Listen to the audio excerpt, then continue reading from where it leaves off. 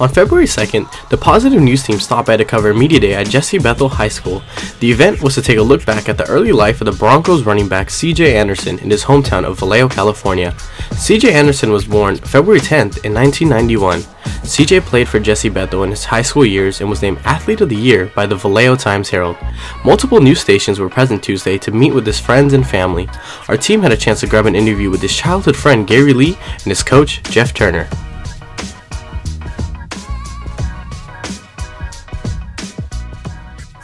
So we're here with Vallejo Vision, and we have Coach Gary, who works here at Bethel, and we'd like to ask, how was it growing up with CJ? Um,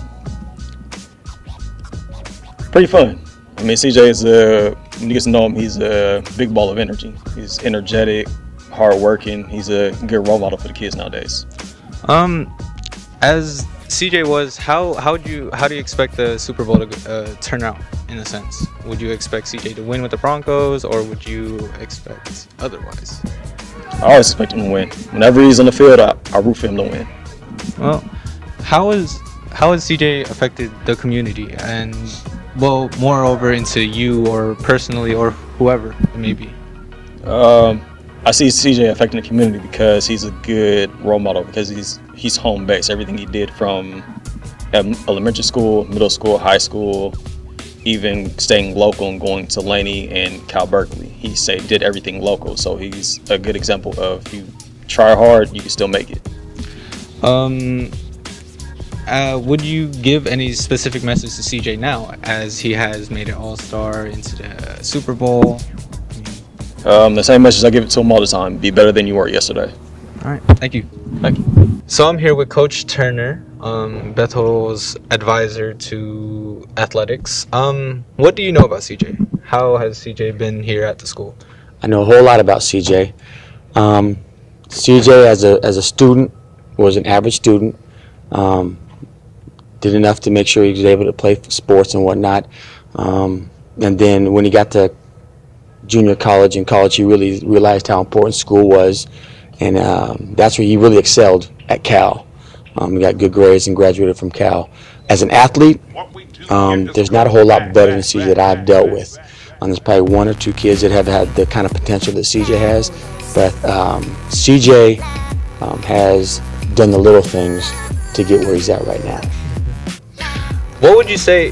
How do you can you reference any necessarily exemplary performances that he did here while he was at Bethel? Sure. Um, there's two things, two two things that stick out in my head. The first one was he, when he was a sophomore.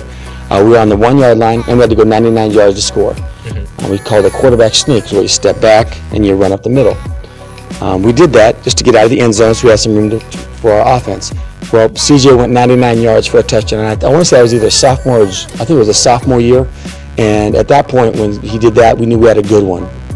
Um, his junior year, we were playing Rodriguez, and it was the regular season, and we were punting. CJ's the punter. Um, and then I don't like kids calling their own plays, so he changed the play. We were punting, but he wanted to do something else. Mm-hmm he did something else and scored a, went 65, 70 yards for a touchdown. So um, he was an amazing, amazing athlete. Um, and we and they, now he's in this, playing his second Super Bowl. Yes. So would there be any message that you'd like to give CJ as he is in pro now? He's about to go on to the Super Bowl next Sunday. You know, I think um, the only thing I, I, like to remind CJ of is um, respect the game of football.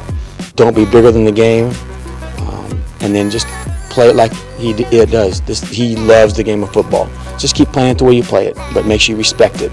It is it is bigger than we all are. All right, thank you. You're very welcome.